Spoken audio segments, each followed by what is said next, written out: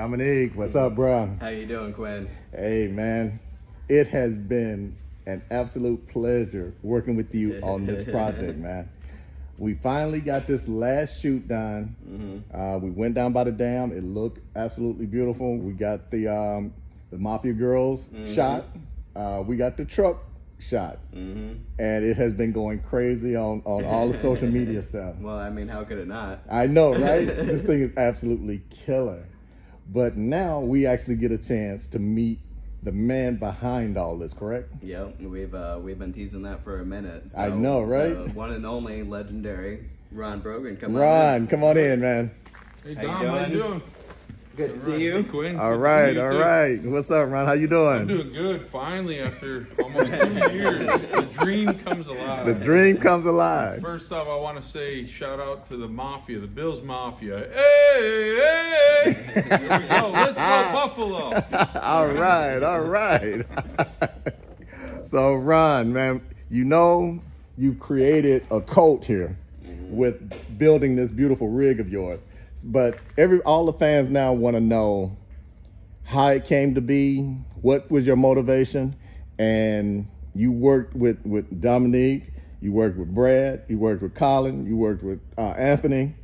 Mm-hmm. Tell us how it all started. Yeah, I also say Scott with Peterbilt, mm-hmm. Anthony. Yeah, well, you said Anthony. All right, mm-hmm. so Pete from Nationwide. Mm-hmm. Yep, yeah. yep, Pete. there, yep. There's been a lot of hands in this. A lot of hands in this. Yes, it has. So, yeah, it came together. All, all you guys, you made my dream come true. But, you know, I, I don't know what side we come from. I'm from Buffalo originally. So okay. deep seated fabric, whatever you want to call it, Buffalo Bills fan, die hard. um, I've also been in the, also been, been in uh, been in the trucking industry for since since the 80s. Okay. And, uh, I think it's a dream of probably, from what I know, every truck driver to have a long nosed Pete. Exactly. Exactly. And my favorite color is red. I'm winning. I am winning. so, uh, for for the past, well, I, I came off the road back in '98, but I had back then a double eagle. It was 128. So that was big back then. Yes, it was. This that used one, to be the standard. Yes. Yeah. yeah. And this one here is a 168. Oh wow! Okay. And it's uh, the wheelbase coming out at 356. It's the longest that you can get with Peterbilt, Kenworth. So, but uh, a couple years ago, um, I have a one or I had a 144 before this one, Kenworth, and uh, a couple years ago I was up in Montana in the winter, mm-hmm. and it was about a negative 33, Eee. and uh, kind of got a little cold. Yeah. And I got to thinking, and I've been in Florida for probably 20 years. I had a hot tub, and uh, boy, I got to thinking, boy, sitting in this cold I sure could use a hot tub right now. so I just in my mind it started clicking. And and on top of that, I'm watching TV. Sure could use a fireplace. So I put both of those in there.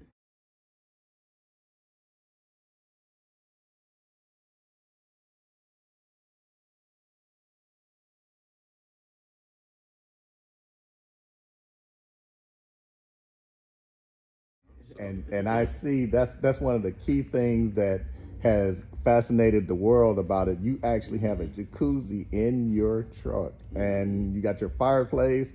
And we took a and with some of the other videos that we shot, they actually get a chance to tour your truck, and like I said earlier, it's blowing up on social media. So, and to actually hear in your own words what inspired that is really really cool to uh, get firsthand. Yeah.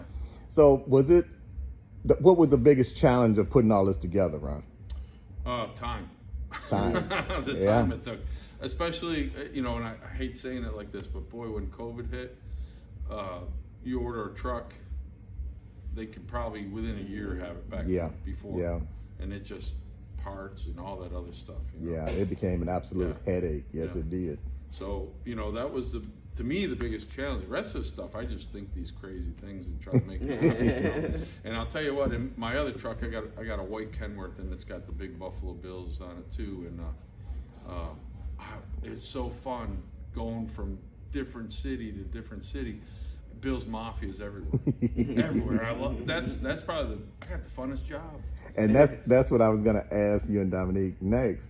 What inspired the Buffalo Bills logo on the side of the truck with the mafia. What explain that to everybody? Well, the fans are the Buffalo Bills fans are known as the Bills Mafia. Got you. Okay. So that's that's where it came from. It started a few years back, uh, and uh, so it's just to be part of that group is uh, it's awesome. Yeah, I've Yeah. noticed since dealing with you too that they are they they are a tight knit group. Yeah. Yes. And there's a reason why they got a title to themselves. Yeah, They are tight best fan group in the world. And you actually have a, a website and everything, or a social social media following on that them as well, right, Ron? Yeah, Facebook, Instagram, and TikTok, and I'm gonna do more.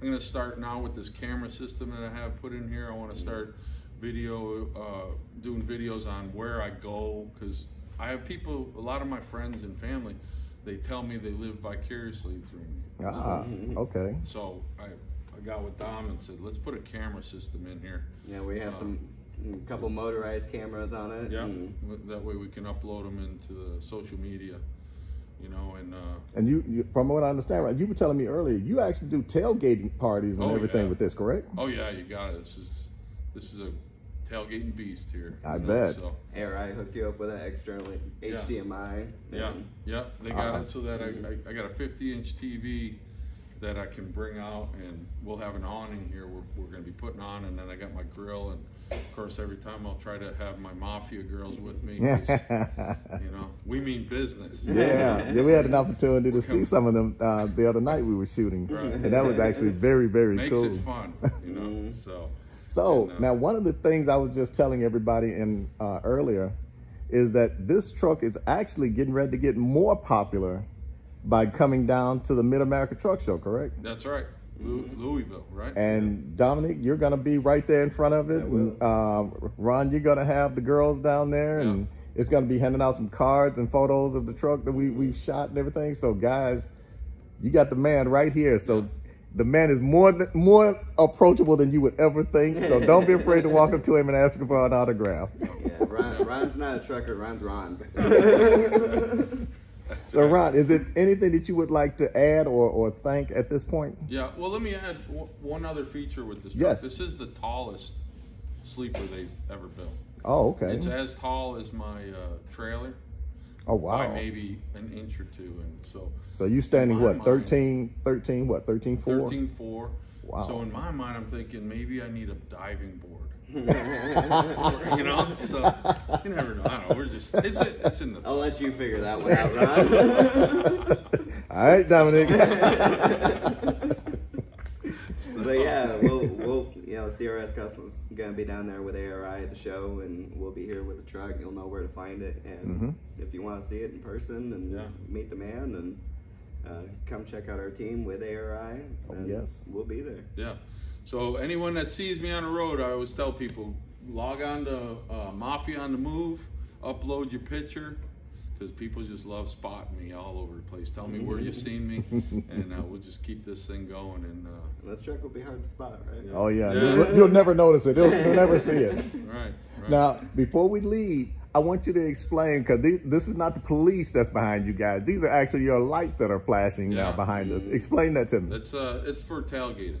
It's, Okay. Uh, and I'm gonna also have a train horn put on so that uh, third down, we're going for the third down. That train horn's gonna blow, and then you know we'll try to get get some more uh, stuff. You know when we when we have touchdowns, the uh, strobe lights go, the horns will go, and you know just a big party celebration. One day we're gonna win the Super Bowl. One day, that's right. right, that's That's right. You Yeah, think you next know, I was wondering. I was wondering as we It were was coming close. to the end of this build. Yeah, it was close. Yeah. So, guys, this is going to wrap it up for this beautiful shoot with Elegance on 18 Wheels. But like we said, come down there to the Mid America Truck Show in March 2023 and check this truck out in person. Videos and photos don't do it any justice. You really need to see it. Yeah. And Ron, will people be able to take a tour with you Sure. when they get down there? Yeah, we're gonna let people in to see it, and uh, of course, if we get our we got our our pictures of what the truck is and what's in it. Um, probably have the mafia girls on the, the photo too. Maybe you get some signatures. Uh, All right, guys, you heard it here first. We got the man, Ron Brogan, and we definitely got Dominique Midland from CRS Customs. This is Quinn, Elegance on 18 Wheels Magazine. We'll see you guys next time. All right. Take Go care, everybody. Take care, everybody.